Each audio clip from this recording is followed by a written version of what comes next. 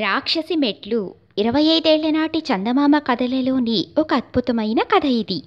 కథలోకి వెళ్ళే ముందు ఒక రిక్వెస్ట్. మీరు మొదటిసారి మా ఛానల్ని చూస్తున్నట్లయితే ప్లీజ్ మా ఛానల్ని సబ్స్క్రైబ్ చేసుకోండి. అలాగే కథ పూర్తయ్యాక విషెస్ ప్రోగ్రాం ఉంటుంది. ఈరోజు ఎవరు ఎవరికి విషెస్ని అందజేస్తున్నారో తెలుసుకుందాం. ఇప్పుడు కథలోకి వెళ్దాం. పడమటి సముద్ర తీరాన అనేక వేల ఏళ్ళ క్రితం ఒక గ్రామంలో గ్రామ పెద్దకొక కొడుకు కలిగాడు.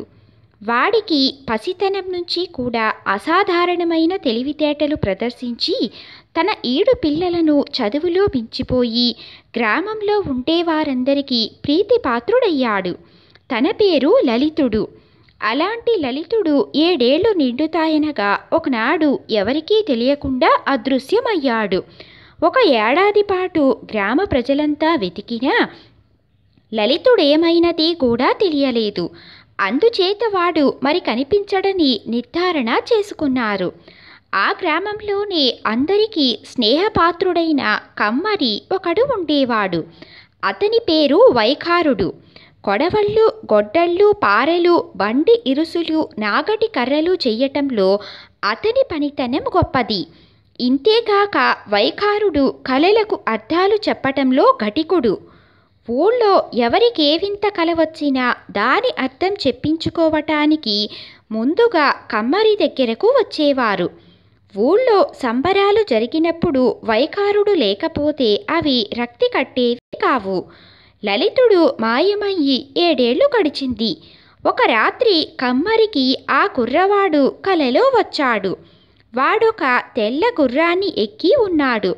వాడు కమ్మరితో ఇంతకాలము నేను జృంభకాసురుడి నౌకరుగా ఉన్నాను. నా నౌకరీకి గడువు తీరిపోయింది. నీవు వచ్చి నన్ను తీసుకుపోవాలి. నేనుంటున్నది రాక్షసి కొండలో అన్నాడు. ఇదంతా కలలాగుందే. నిజమని ఎట్లా నమ్మటము? అని కమ్మరి తెలివిగా లలితుణ్ణి అడిగాడు కలలోనే. ఇదే నీ గుర్తు అన్నాడు లలితుడు. కుర్రవాడ ఆ మాట అంటుండగానే వాడెక్కిన తెల్లగుర్రం ముందు కాలెత్తి కమ్మరి నుదుటి మీద తన్నింది.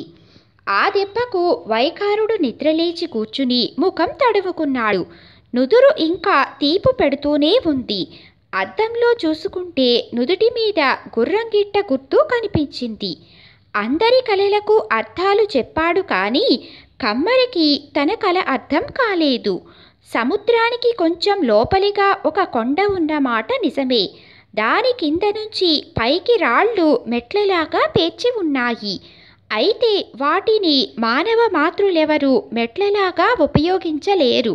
కాలు ఎత్తి సులువుగా ఇళ్ళ కప్పుల మీద పెట్టగల రాక్షసులు నిజంగా ఉంటే వాళ్ళు ఆ మెట్లు ఎక్కి వెళ్ళవచ్చు. అందుచేతనే అందరూ వాటిని రాక్షసి మెట్లు అనేవారు.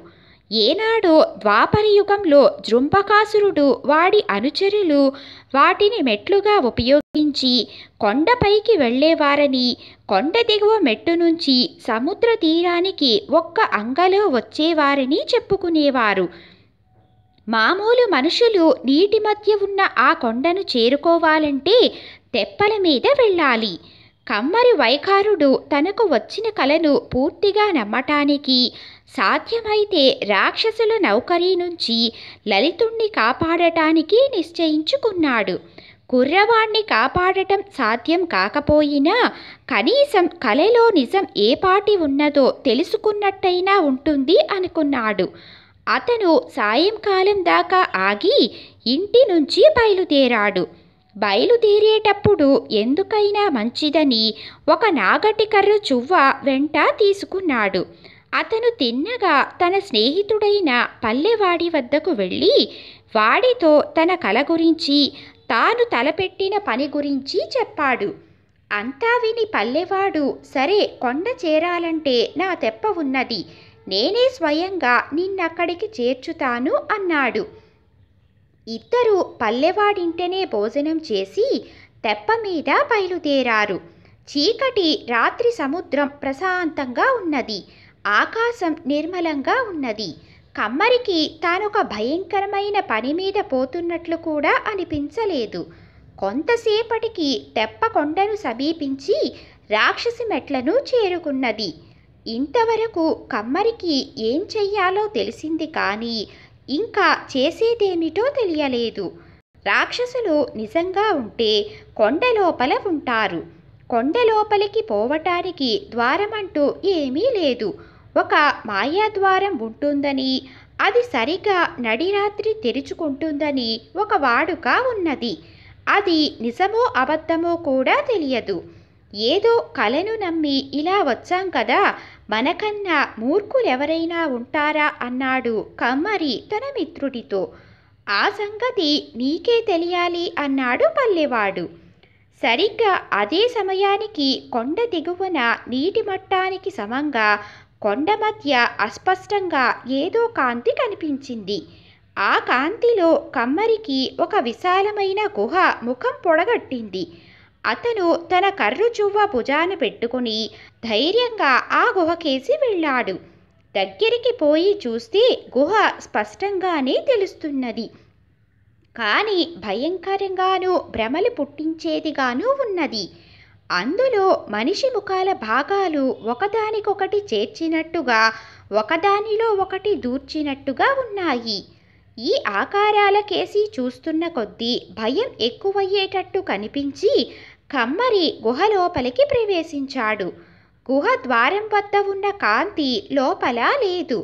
అక్కడ చీకటి దానికి తోడు గుహ అనేక మెలికలు తిరిగింది. తడువుకుంటూ ఆ మెలికల వెంబడి కొద్ది దూరం వెళ్ళేసరికి కన్ను పొడుచుకున్నా కనపడని చీకటి. ఈ గుహలోకి ఇంకా కొంచెం దూరం వెళ్ళానంటే తిరిగి బయటికి రావటం అసంభవం. అందుచేత వెనక్కు వెళ్ళటమే క్షేమం అని అతను అనుకునే సమయానికి వెనక నుంచి ధబేలుమని పెద్ద చప్పుడు వినిపించింది. గుహ ద్వారం మళ్ళీ మూసుకుని ఉంటుందని చచ్చినా బతికినా ముందుకు వెళ్ళటమే పౌరుషమని అనుకుని అతను ముందుకు చూశాడు. దూరాన ఎక్కడో మినుకు మినుకుమంటూ నక్షత్రం లాంటి దీపం కనపడింది. కమ్మరి వైఖారుడు ఆ దీపం కనిపించిన దిక్కుగా నడవసాగాడు. ఇప్పుడు దారి సాఫీగా మెలికలేవీ లేకుండా ఉన్నది. అతను చాలా దూరం నడిచి ఒక విశాలమైన ఆవరణ చేరుకున్నాడు. దాని రాతి కప్పు నుంచి ఒకే ఒక దీపం వెలుగుతున్నది. దాని కిందుగా ఒక పెద్ద రాతి బల్ల ఉన్నది.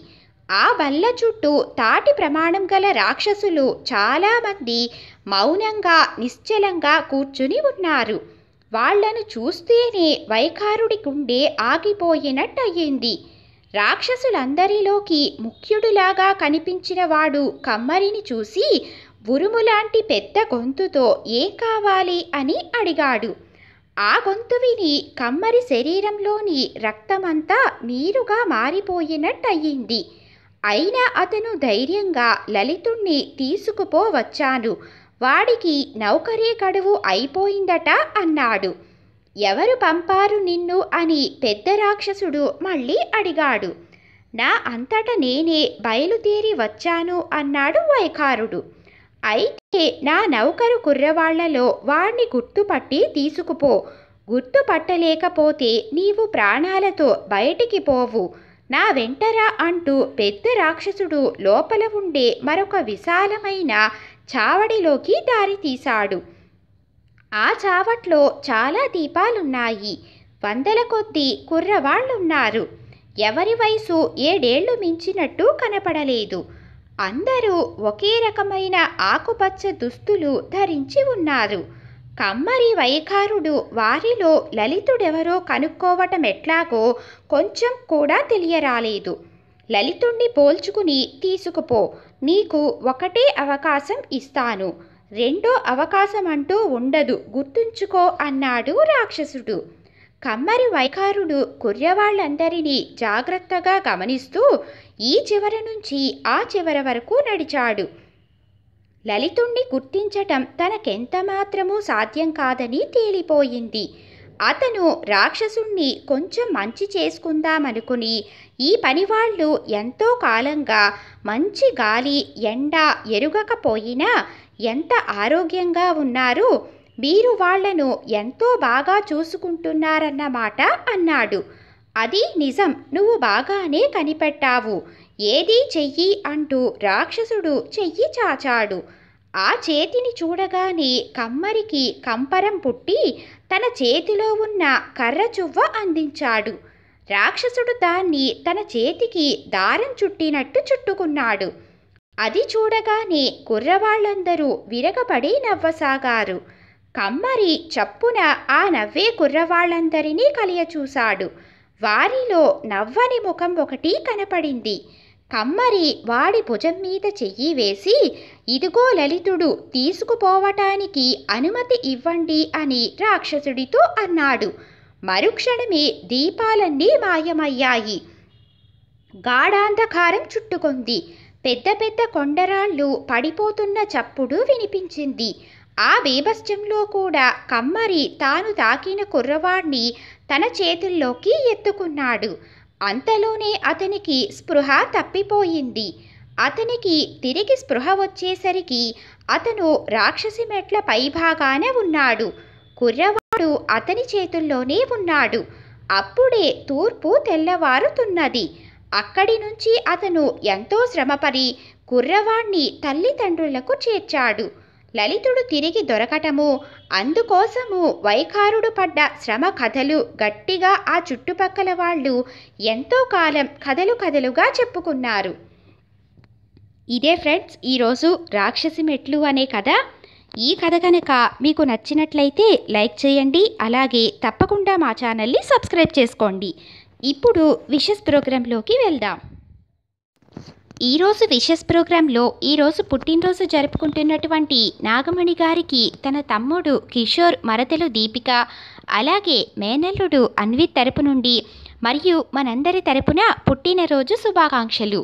Nagamani garu wish many more happy returns of the day అలాగే ఈరోజు పెళ్ళి రోజు జరుపుకుంటున్నటువంటి రోజా గారు ప్రసాద్ గారికి రోజా గారి సిస్టర్ అయిన శిరీష తరపు నుండి వాళ్ళ ఫ్యామిలీ మెంబర్స్ తరపున అలాగే మనందరి తరపున పెళ్ళి రోజు శుభాకాంక్షలు. మీరు మరిన్ని పెళ్ళి రోజులు మరింత సంతోషంగా జరుపుకోవాలని మనస్ఫూర్తిగా కోరుకుంటున్నాం. మీలో ఎవరైనా సరే ఎవరికైనా మా ద్వారా విషెస్ని అందజేయాలి అనుకుంటే వారి వివరాలని నాకు కామెంట్లో పెట్టినట్లయితే నేను వారికి విషెస్ని అందజేయటం అనేది జరుగుతుంది.